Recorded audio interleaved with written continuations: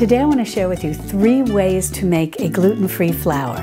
An all-purpose mix, a whole grain mix, and a gluten-free flour that can be used as a cookie mix. Plus, I have a bonus gluten-free flour for those of you who like to have a self-rising flour for making biscuits.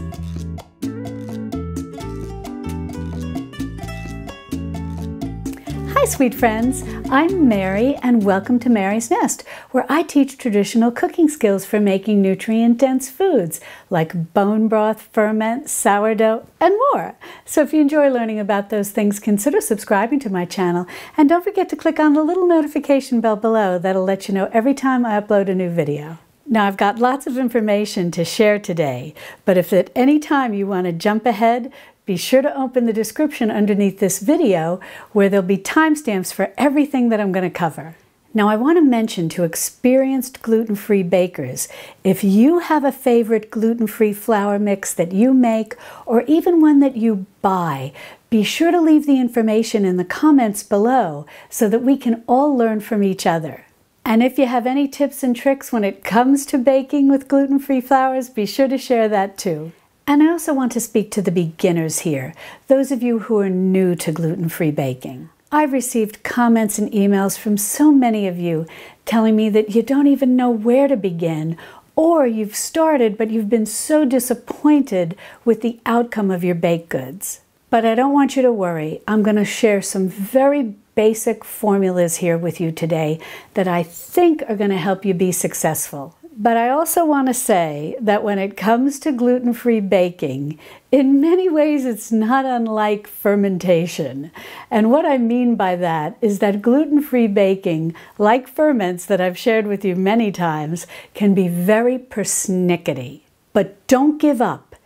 You need to keep trying and experimenting until you get the results that you like. And sometimes it can be very simple as just adjusting the liquid in your recipe. If you bake something and it comes out dry, don't worry. Record all of this in your kitchen journal, and then the next time you go to make that recipe, add a little more liquid.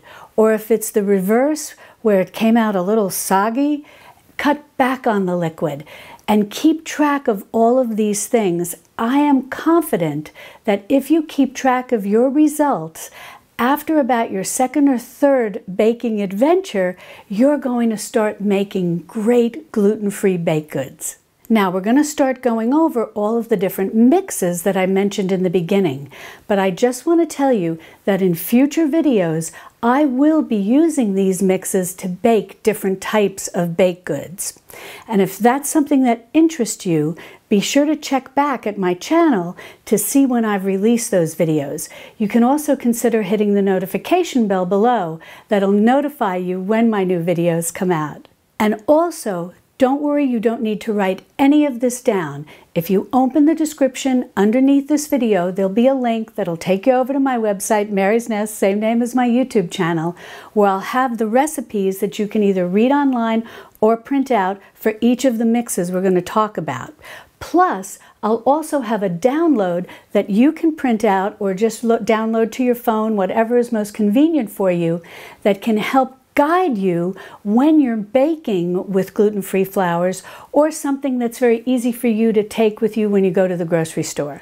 Well, let's get started. The first gluten free flour mix that we're going to make is an all purpose gluten free flour. Now, this is great for using to make yeasted breads or quick breads. But the good news is you can also use this to make a sourdough starter, which is perfect for those of us who have a traditional foods kitchen. Because once you get that gluten free sourdough starter going, you can then use that to make gluten free sourdough bread. Now, the ingredients for making this all purpose flour blend are going to be rice flour, tapioca flour, and some potato starch. Now, I also recommend that if you can find this, adding some xanthan gum is really going to help with the texture of your final baked good. This helps with stabilizing and thickening, and so it helps create a better bread product. Now, this used to be more difficult to find. However, with the popularity of gluten free baking, you may be able to find this in your grocery store, as I did. This was right in the baking aisle, along with the various other flours and gluten free flours. Now we're going to start with two cups of the white rice flour.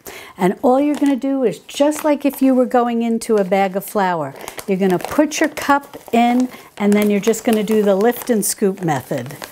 So just as neat as you can, just level that right off and then go ahead and add that to your bowl. Now I've got the two cups of white rice flour in my bowl. Now, you may be wondering, can you use brown rice flour? Now that would turn this into more of a whole grain flour, which we're going to talk about in a minute. However, brown rice flour can go rancid very quickly. Brown rice is a very oily grain. So if you grind it into flour or you can find brown rice flour already made for you and sold at your grocery store, often the shelf life is very short. So for this simple all-purpose version, I recommend just using white rice flour. It's also going to give you a better result because it's lighter than brown rice flour. And when we move into talking about the whole grain flours, then we'll talk about some options that are not as oily as the brown rice, so they give your gluten-free flour, your whole grain gluten-free flour mix, a longer shelf life. The next thing we're going to need is one cup of tapioca flour. And we're just going to do the same lift and scoop and add this right into our rice flour. Now, if tapioca flour is something new to you, what this is made from is something known as the cassava root. And it's completely gluten-free.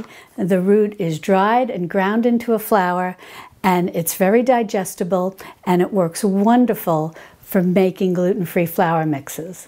Now next, we're gonna need one cup of potato starch, and we're gonna do the same thing, just a lift and scoop. And we'll go ahead and add that potato starch right in with our tapioca and our white rice flour.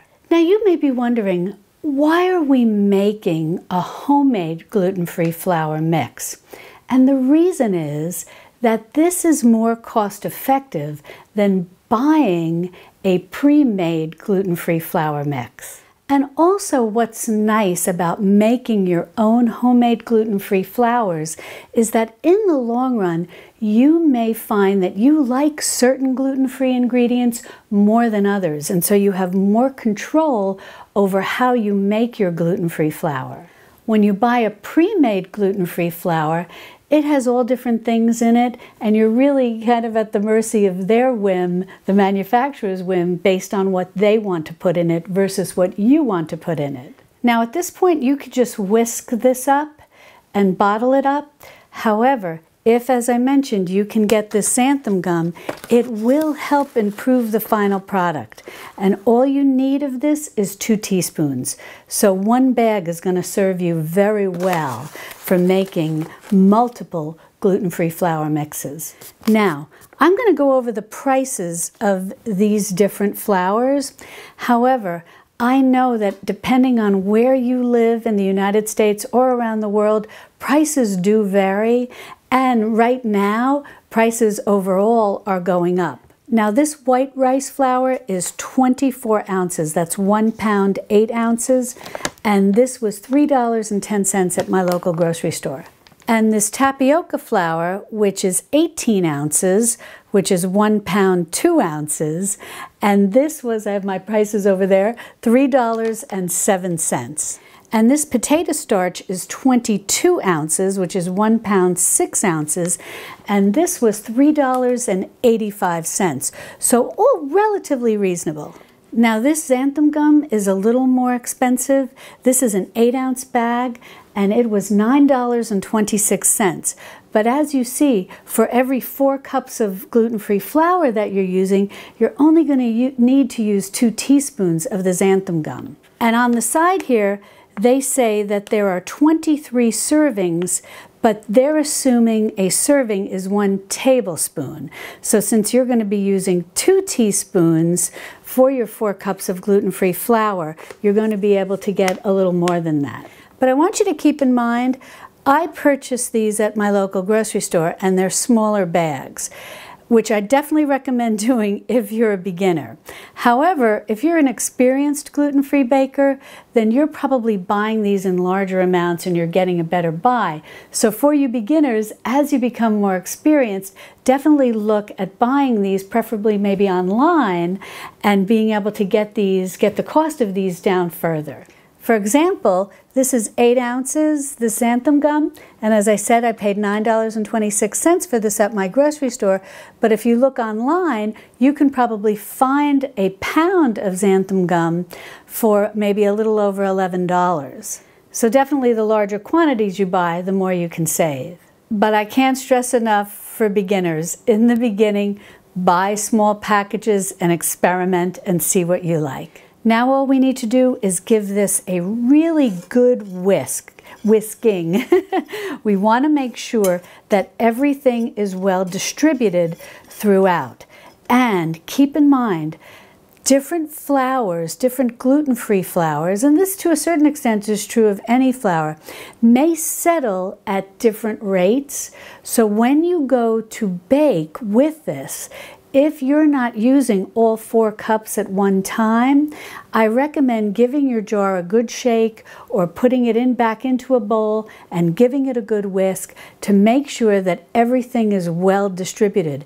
That's a tip that can really help improve the final product of your baked good. Now I like to store these gluten-free flour mixes if I make them in this amount. Now keep in mind you can double this, triple this, whatever you want to do. But I generally make small amounts of these because we're not a gluten-free household so I'm not using a lot of gluten-free flour mixes. So I just make about a quart's worth in essence four cups but I use a quart sized jar to store this and then it's got a nice tight lid and I store it in a cool dark pantry and just to keep everything nice and neat here, I'm going to use a funnel. Now, what is the shelf life of something like this? The shelf life really for these type of gluten-free flour all-purpose mixes can be about two years.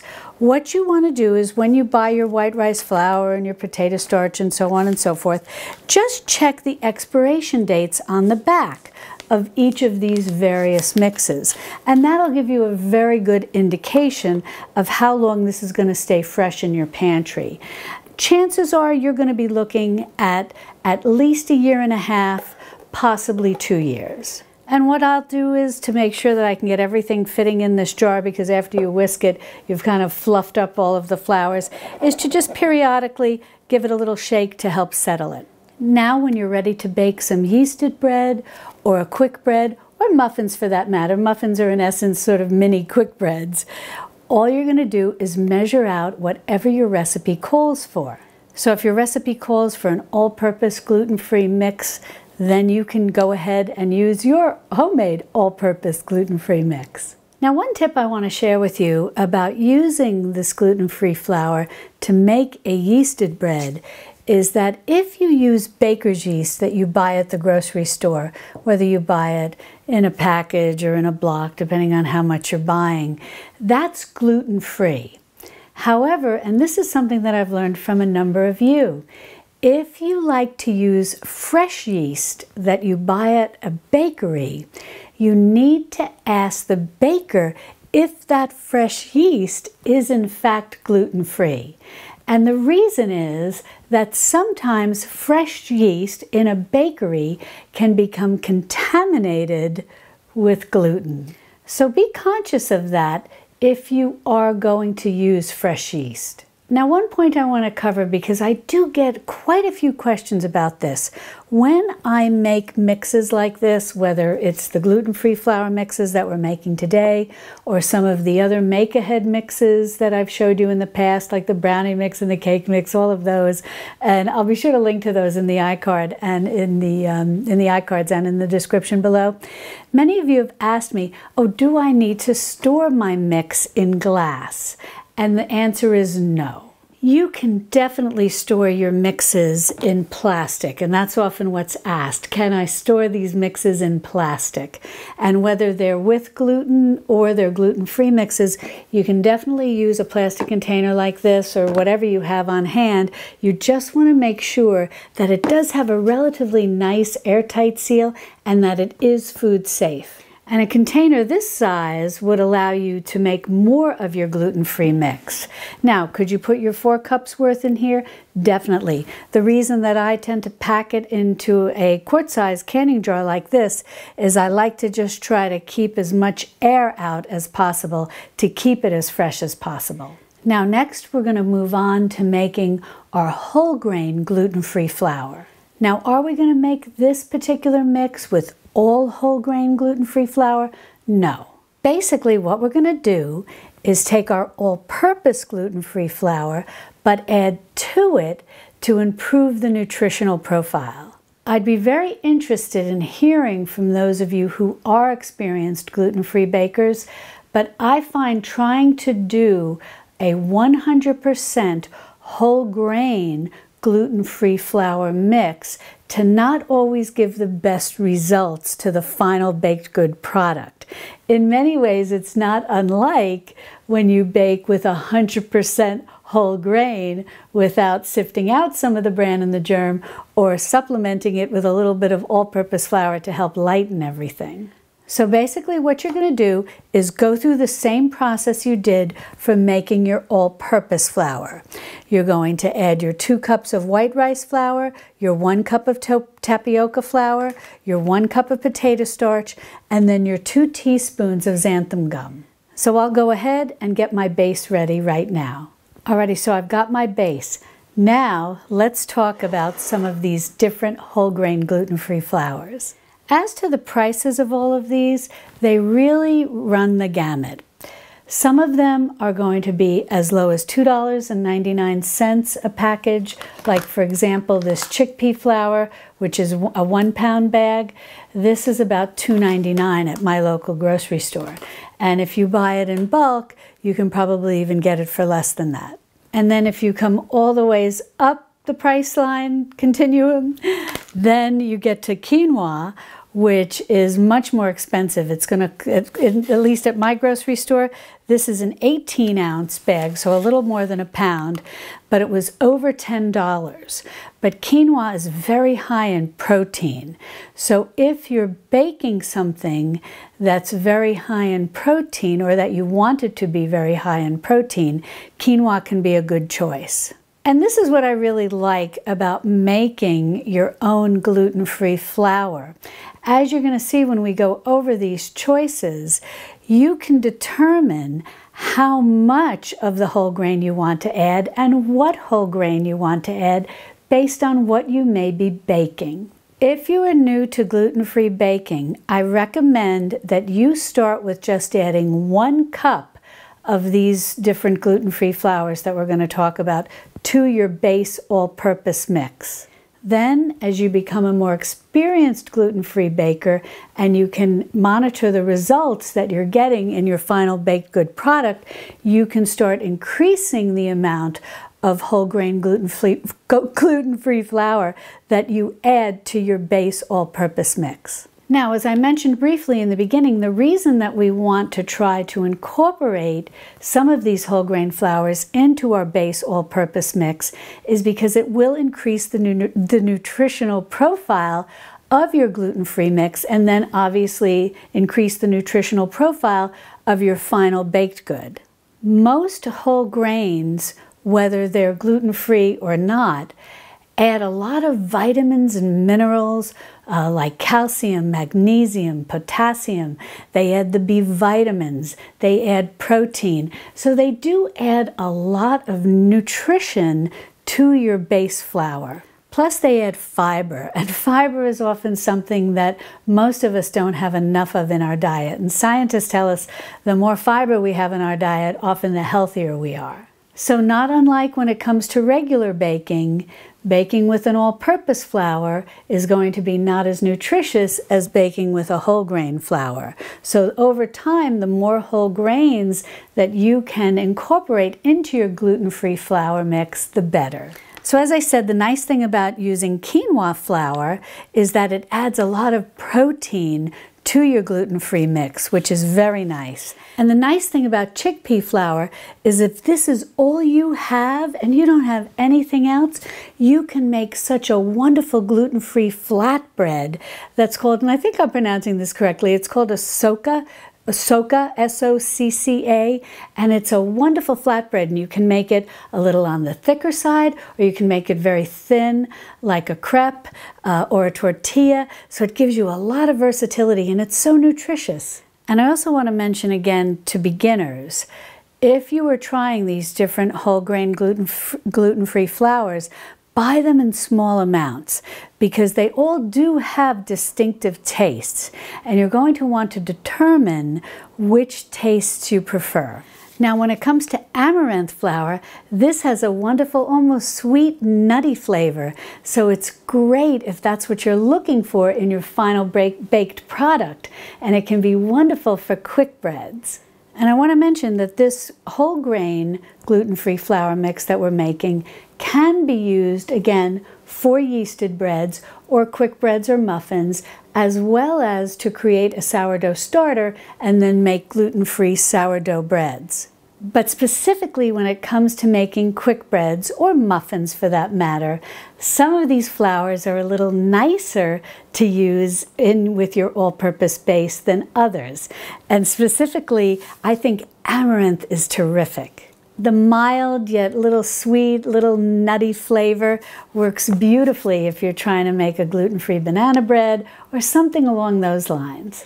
This also works very well when you're making a gluten-free cookie mix, which we'll talk about later. Buckwheat flour is another wonderful gluten-free flour to have on hand. However, when it comes to buckwheat, you need to make sure that you like the flavor. So I would recommend, again, buy a small bag and try making some buckwheat pancakes and see if you like the flavor. This has a little stronger, distinct flavor.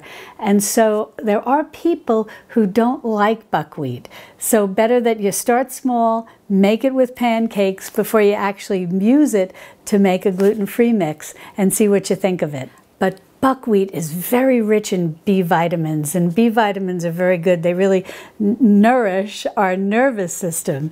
And in this crazy world sometimes that we live in, nourishing our nervous system is a good thing. Now, I also want to talk about sorghum. This has a very nice, somewhat sweet flavor, not unlike the amaranth. And so this is a very nice flour to use, especially if you're making a whole grain gluten-free mix to use to make quick breads.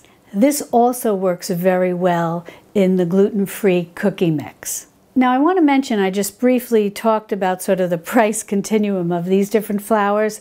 I'll go into more detail about what each of these cost me uh, on my website where I have the corresponding blog post for this video, uh, so you'll know what the price range is.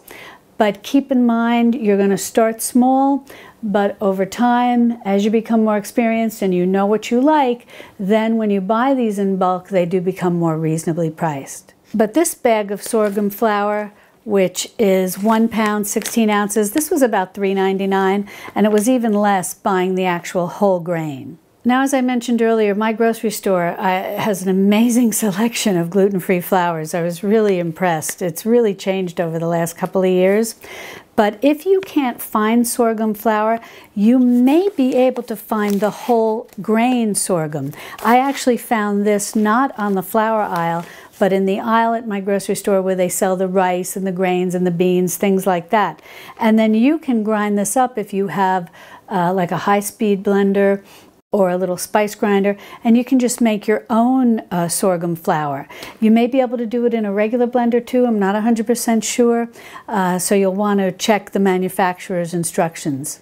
Now, millet is another whole grain that's gluten-free that you can use to add to your all-purpose base to make a whole grain gluten-free flour. Now, this is millet flour, and I actually had to buy this online because I could not find this at my local grocery store. But in the grain section, I was actually able to find whole grain millet. And like the sorghum that we talked about, you could grind this and make your own uh, millet flour. And I really like using millet flour because like some of the others we talked about, it is reasonably priced. Uh, this whole grain bag, which is uh, almost two pounds, one pound, 12 ounces, was about $3.99. And this is a two pound bag of millet flour. It was a little more expensive, but overall, it's a reasonably, reasonably priced whole grain flour. Plus, it also has a mild flavor, so it'll work well for making your yeasted breads, or your sourdough, or your quick breads, or muffins, whatever the case may be. It really blends nicely and has a very mild, pleasant flavor. It's also a powerhouse of nutrition. It's got potassium, it has selenium, it has copper, it has manganese, niacin, thiamine, magnesium, zinc, and pantothenic acid. I mean, it's just got so many nutrients in it that it makes for a wonderful, uh, basically make, turning your uh, uh, all-purpose mix into a very nutrient-rich gluten-free flour. It also has a pretty good protein profile. Quinoa, for example, has 5 grams of protein per serving, but millet has 3 grams, so it's nothing to shake a stick at, as they say. Now today we're going to use millet flour to make our whole grain gluten-free flour, but there's a few other flours that I do want to talk about here. One is cornmeal, which this is gluten-free, it's guaranteed gluten-free, and the other is oat flour. Now, if you saw my video uh, where I talked about uh, stocking a baking pantry. I, dis I did discuss this oat flour, which I want to share with you, that I could not find anywhere on this packaging saying that they guaranteed it was gluten-free. Now, oats and corn are gluten-free, but sometimes the crops can become contaminated uh, from neighboring crops and have gluten in them. So when you're looking to be 100% gluten free, you want to make sure that you find something on the package like this little red circle that Bob's Red Mill brand is popular for putting on, a little circle with GF in it, or the Arrowhead Mills puts it right across the front here, gluten free. So just keep that in mind when you're looking at these other whole grain flours. But the nice thing about making a gluten-free flour, a whole grain gluten-free flour with corn, in this case the cornmeal, is that that makes a wonderful base for then making cornbread, a gluten-free cornbread. And it's like I said earlier, this is why I like making these things homemade, because you can tailor them to what you can tailor your gluten-free flour mix to what you want to bake. So add some cornmeal, and now you have a wonderful gluten-free flour to make cornbread with. And oats, oatmeal, oat flour is wonderful. And speaking of oat flour, if you have old-fashioned rolled oats, or if you have the steel cut oats, or if you have oat groats, which is the full, you know, the actual full uh, whole grain oat, all of those can be ground into flour. If you have a grain mill, great, you know, for the oat groats. Uh, high-speed blenders can do the job. And if you have the old-fashioned rolled oats, even just a regular blender can grind those into a flour. So it's nice that oats give you a lot of flexibility. And I discuss all of the, the corn and the, uh, and the oats in more detail in that Stocking the Pantry video. And if, so if that's something that interests you, and I do cover some gluten-free options in there as well. And I have a nice printout, a downloadable, and there's no email required or anything like that. So it's easy, you can print out or download it to your phone. And it's a great uh, resource for when you go grocery shopping. But oat flour can be great if you're making any type of bread, like an oatmeal pantry bread that I've shared with you in the past, and you want to make a gluten-free version, you can add oat flour to your base all-purpose mix. Oat flour also, just because it has a very pleasant and mild flavor, can work well uh, when you're using it to make a yeasted bread, a sourdough, or a quick bread. Oat flour also works well as a base for a gluten-free cookie mix, of course, to make oatmeal cookies. So that's something to keep in mind. But we'll talk about the cookie mix in a minute. Coconut flour is another option, and this can work well if you want to add this maybe along with one of the other whole grain flours. And the reason to your basic all-purpose base here. And the reason is I will be very honest with you, and I'd be very interested in hearing from those of you who are experienced gluten-free bakers. I'm not a huge fan of coconut flour. I've baked with it a couple of times in the past, and I find that it just takes an awful lot of eggs to get the type of lift that I'm looking for. So definitely try it out, but if you've been using a lot of coconut flour and you've not been getting the results that you had hoped for in your gluten-free baked good, it may be time to try something different. Uh, but I did want to share with you that it is coconut flour is gluten-free, but I wanted to be truthful with you to share that I do find it a little challenging to bake with. So as we've did in the past, we're just going to do the lift and scoop with our millet flour. And if you're not familiar with millet flour, I think you're going to really like it. It has almost a very yeasty smell to it and it's got a beautiful pale yellow color. Now, as I said, I'm just going with one cup this time around, but if you find that after you've baked with this, that you're happy with how your product is coming out, your final baked product, then by all means, you can go ahead and start adding in more of the whole grain flour to your basic all-purpose mix. So you just want to make sure that you whisk this really well to get all of that millet flour well incorporated. And when you go to use this, you're going to use it the same way you're going to use your all-purpose flour. If you have a gluten-free recipe that calls for a gluten-free flour mix that has some whole grain component to it, then you're just going to measure this as you would any uh, store-bought gluten-free flour that has a whole grain component to it. Now I'm just going to go ahead and decant this. Since I've got the five cups of flour in here, I'm going to use a bigger jar. Now I just want to talk about the xanthan gum for a minute.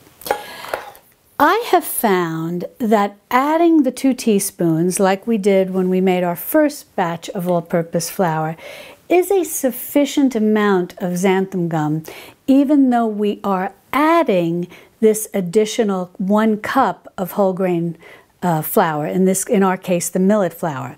However, as you start to add more whole grain flour to your mix, you may want to consider upping the amount of xanthan gum that you begin to add to your original all-purpose base. And as you say you decide you want to add two cups of a whole grain flour or three cups of a whole grain flour, where you're starting to get to the point where you've got 50% of these lighter gluten-free flours and 50% of more of your heavier, your whole grain gluten-free flours, at that point, you will want to consider increasing your xanthan gum from two teaspoons up to four teaspoons. But again, you don't have to write anything down. I'll explain all this in the written recipe over on my website. Now let's move on and make our gluten-free cookie mix. Now for this mix, I like to use the tapioca flour, the sorghum flour because it's got a wonderful flavor that I think works very well with cookies. And we're going to need a little xanthan gum again. And then I also like to use arrowroot. Now arrowroot is sometimes called a flour, sometimes it's just called a starch. You may know it either way. But basically what it is, it's something that comes from the arrowroot plant. The arrowroot plant grows tubers. It kind of looks like a potato or a sweet potato, a tuber. And then the starch is extracted from that tuber and dried, and you get arrowroot starch or arrowroot flour, and it's gluten-free. And if you have a gluten-free household, and maybe, as we've talked about earlier, you're a beginner with all of this, arrowroot can really become one of your best kitchen friends. I'll just read to you a few of the things on the back of this package as to how arrowroot can help you in a gluten-free kitchen. It's an excellent grain-free substitute for cornstarch and can be used as a one-for-one -one replacement in most recipes. Arrowroot can also be used for thickening if you need to thicken a gravy or a soup or a stew. It can also be used as an egg replacement.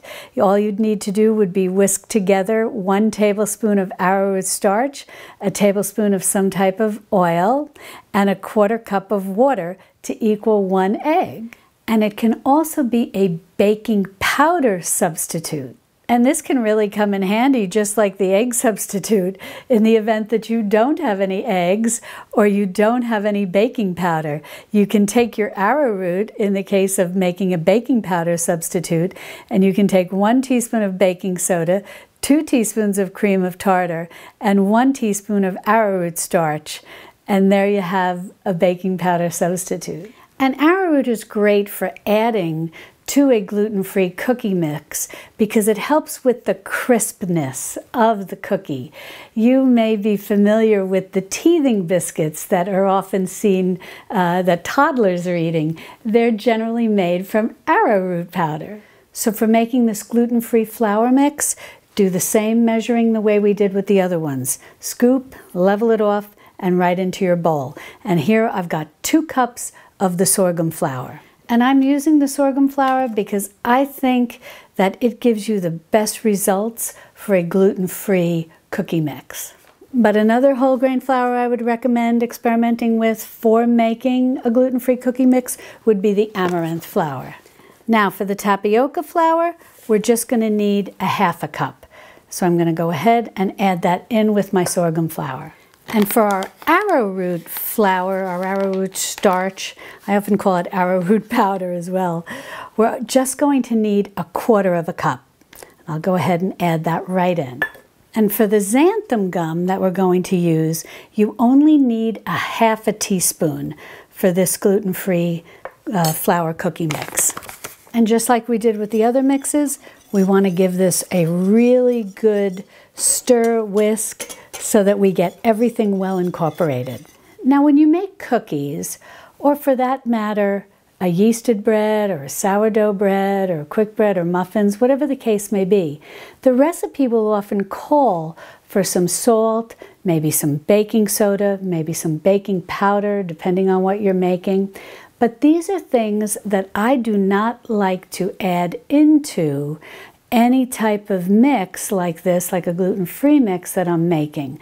I like to give myself the flexibility of when I'm actually going to use the mix to add those little additions that may need to be added, but to add individually to whatever specific recipe I'm following.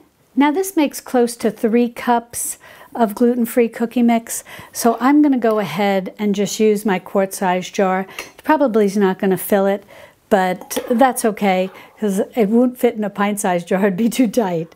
Alrighty, bonus tip for you biscuit makers. Now, although I said earlier I generally don't add baking powder or salt to my gluten-free mixes, there is one exception. If you love to make biscuits and you know that you're going to be using your gluten-free flour mix to only make biscuits, then all you need to do is take your all-purpose mix and add two tablespoons of baking powder to it and two teaspoons of salt and mix it in with your all-purpose mix really well and now you have a wonderful self-rising flour, which is always a popular flour to use when making biscuits. Now, if you've enjoyed learning about these gluten-free flour mixes, be sure to click on this video over here, which is my full baking pantry video, where I go over a whole host of flours, including many gluten-free flours. And I think you'll really enjoy it, so be sure to check that out. And I'll see you over there in my Texas Hill Country Kitchen. Love and God bless.